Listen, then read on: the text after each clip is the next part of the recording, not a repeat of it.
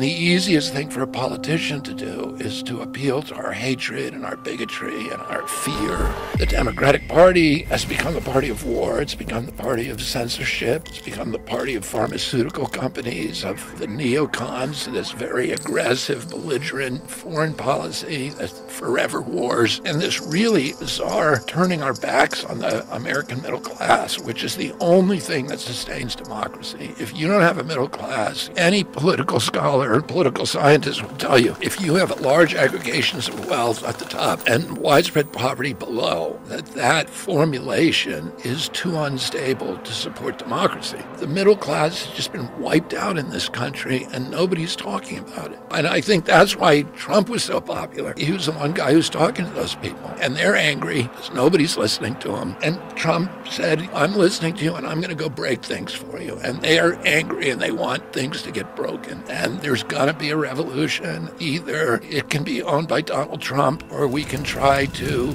marshal and mobilize that energy for a more idealistic vision of our country. Every nation, like every individual, has a darker side and a lighter side. And the easiest thing for a politician to do is to appeal to our hatred and our bigotry and our fear. And that every once in a while, politicians like my dad come along who have a different approach, which is to persuade people one way or another to transcend their narrow self interest and see themselves as part of a community, as part of a larger adventure, and be willing to take risks for neighbors who don't look like them because they feel like they're part of something important, part of maybe reconstructing our country and making it live up to its promises, and to avoid the seduction of the notion that we can advance ourselves as a people by leaving our poor brothers and sisters behind.